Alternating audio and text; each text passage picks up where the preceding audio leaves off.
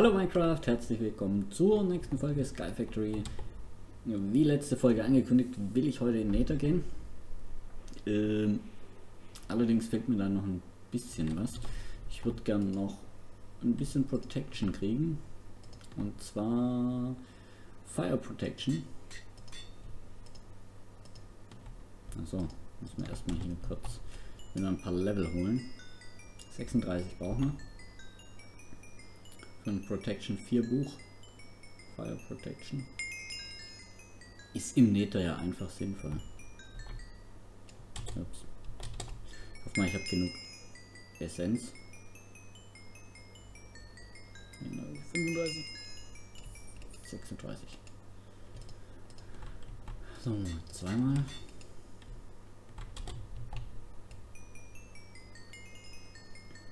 Einmal brauchen wir noch.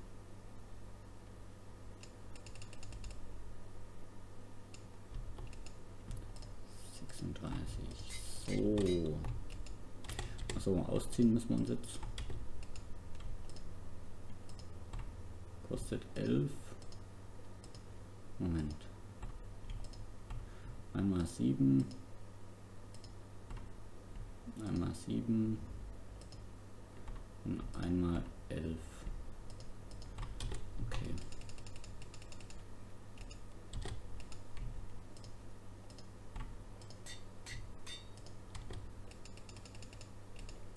Sieben. Ich glaube für die Leggings war das. Andersrum. Und 11 Level für die Schüchen. Sehr gut. Nein.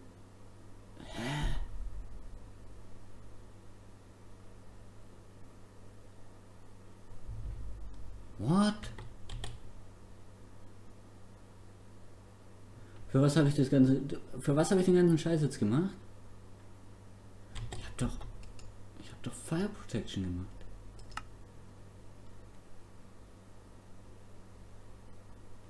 Was soll denn das?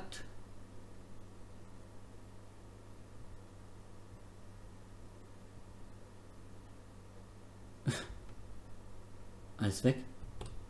Das kann nicht sein.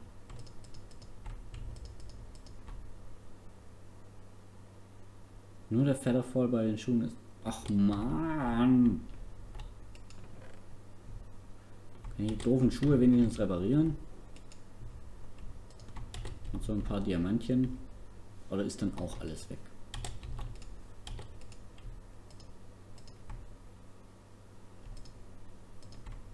Nee, das machen wir, nee, das machen wir nicht. Ich dachte, ich kann da jetzt einfach Fire Protection draufhauen. Und dann hat sich das erledigt. So, da drüben sind schon fast alle Fässer bis auf Eisen sind leer. Und auf der Seite haben wir auch schon so ziemlich alles geleert. Das ist gut. Ach Mann, ich dachte, ich dachte, äh, ich kriege jetzt Fire Protection. Hm, kann man hier den Waypoint löschen. Aber das ist ärgerlich. Das hätte doch nicht sein müssen. So, nimm.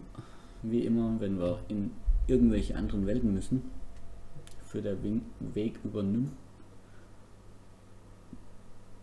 Ich muss sagen, mein ähm, das sieht man hier gar nicht. Mein, mein Gelände auf dem äh, auf der Minimap sieht auch recht interessant aus. So. Essen haben wir genug dabei. Energie haben wir auch noch einiges zum Fliegen.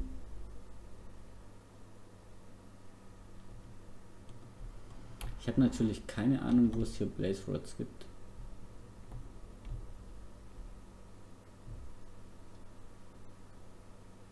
Wahrscheinlich sind die alle, ähm, alle von irgendwelchen Leuten weggemacht worden. Müssen wir ein bisschen suchen.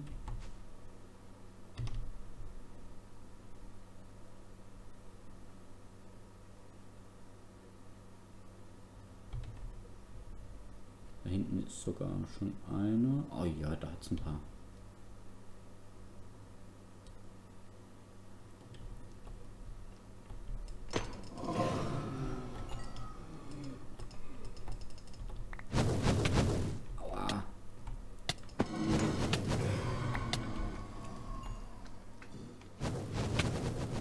Autsch.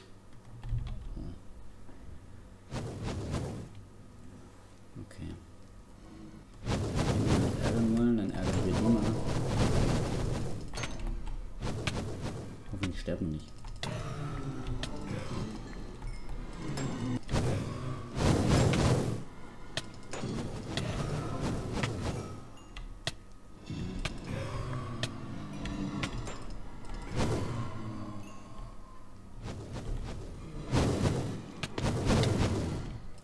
Oh nein, jetzt bin ich gewittert.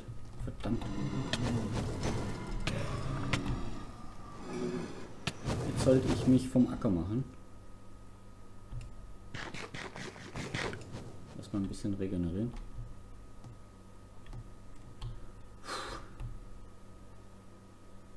Zehn. Wir brauchen mindestens elf. Äh, zwölf. Blaze Rods.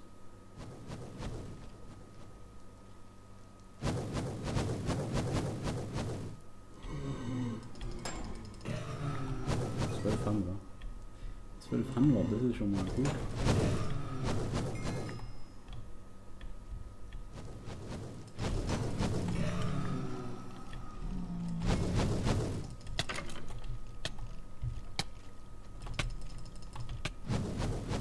Witterskelette, die sind natürlich auch ein bisschen nervig.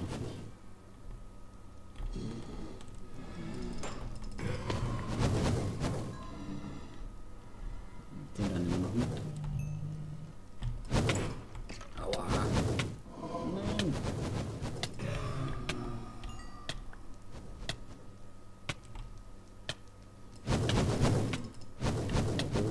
Oh, oh, das geht nicht gut aus.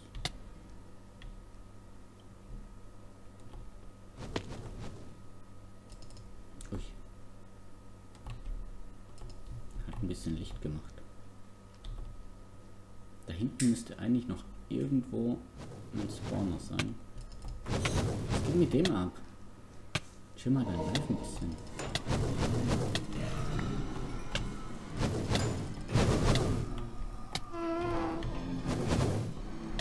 Nein. Das will ich nicht. Nein, nein, nein, wir sterben nicht. Wir sterben doch. Wir sterben nicht.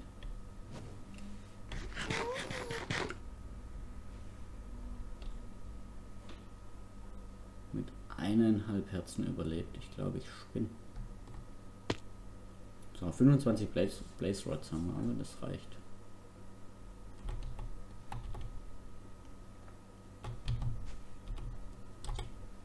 So, unsere Rüstung ist auch nicht zu sehr kaputt gegangen.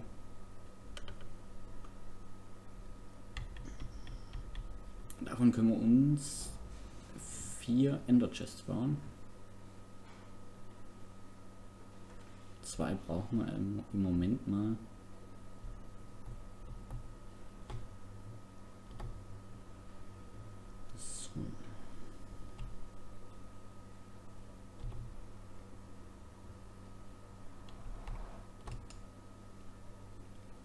Da bin ich nicht angelegt. Bin ich hier angelegt?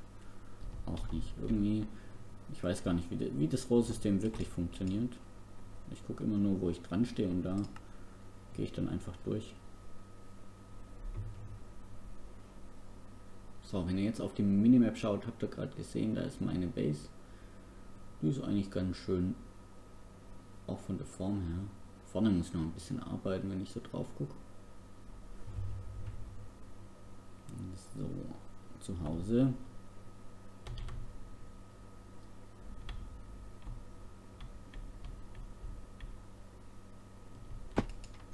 Wenn wir nämlich unten die Monsterfalle da auch jetzt äh, anschließen, an diese Geschichte hier, dann müssen wir nicht mehr so viel äh, hin und her springen. So, lass mich kurz überlegen. Wir brauchen auf jeden Fall nochmal Export. Exportbus. Nein, ein Importbus brauchen wir.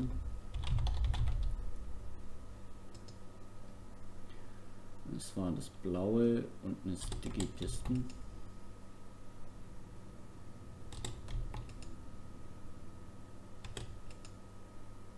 Ein blaues Teil haben wir noch. Zwei Eisen, glaube ich. Genau, eine Sticky-Pisten. Können wir auch noch machen. Irgendwo müsste Rubber sein.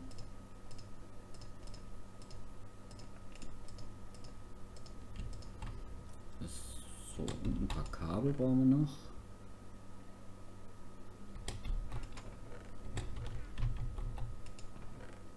Ein paar ME-Kabel hätte ich gerne. Hier. Und was habe ich mir noch... Achso, ja, die Ender Chest muss man natürlich auch noch machen.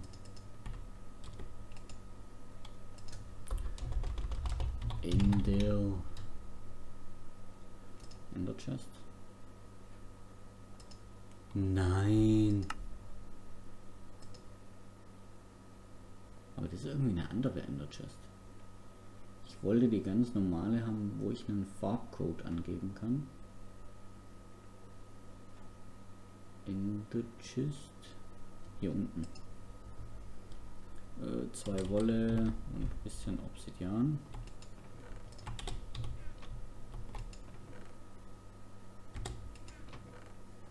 Dann Wolle.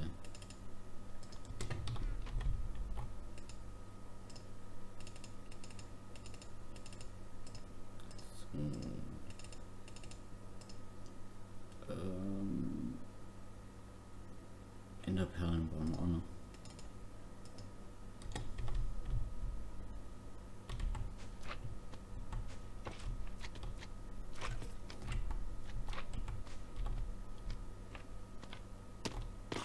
Zehn Stacks Enderperlen. Ist natürlich schön, aber ich ja, guckt euch mal das an, die ganzen Bögen, die sind alles sowas von unnütz. Da muss ich mir irgendwas überlegen. Weil auch die wegzuwerfen ist, ist mega nervig, wenn du da jedes Mal extra Enderperlen, äh, nicht Enderperlen, wenn du da jedes Mal das extra machen musst. So, jetzt müssen wir uns nur eine Farbkombination überlegen, die noch keiner hat.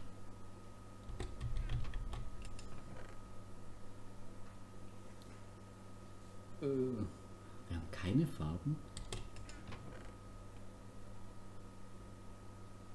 Oder bin ich einfach nur zu blind? Hm. Ich nehme an, dass weiß schon jemand hat.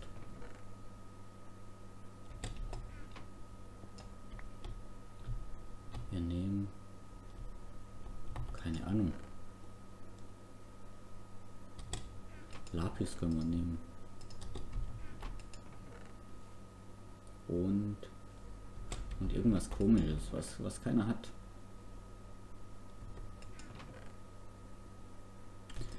Gelb. Gelb und grün.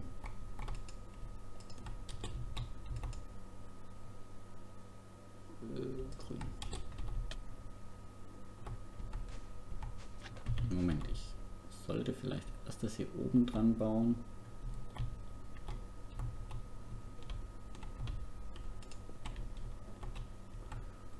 gucken, ob das überhaupt geht. Ähm, es kann sein. Doch steht online dran.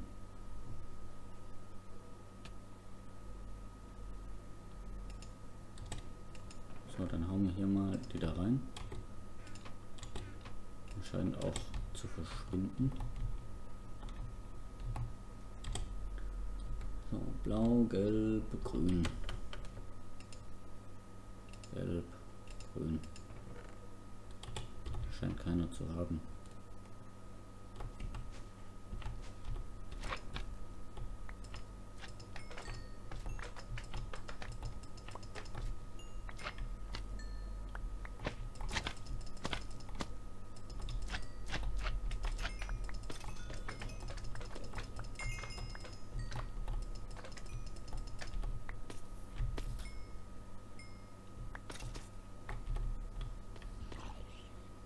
So, ich muss jetzt aber eigentlich die Ender Chest so dran setzen, dass vorher alles andere schon produziert wird.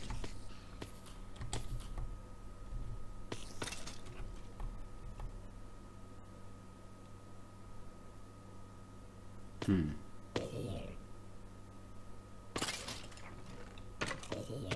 Das heißt...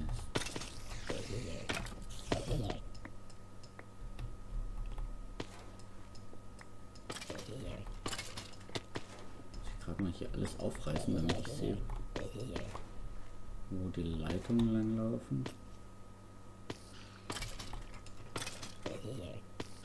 Dieses ganze Zeug hier soll nicht hier unten sein, sondern in die Ender Chest wandern. Aber ich könnte es blacklisten. Ne, kann ich nicht.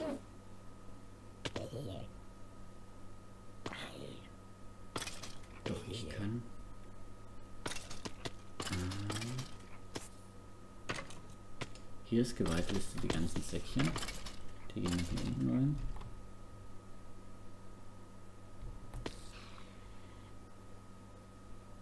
Ich kann hier. Okay, es gibt ja auch einen Insert Item Filter. Das heißt, hier soll bloß rein, was ich drin haben will. Oh Gott. Das ist ein bisschen komplizierter wie gedacht.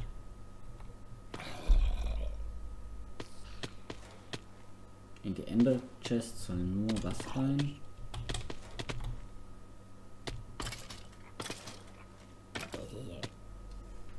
Nee. Ah, Das ist falsch gedacht.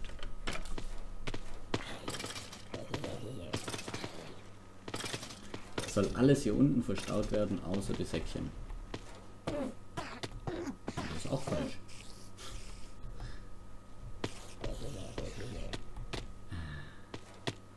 Es soll alles nach oben, außer die Säckchen. Also, also, also.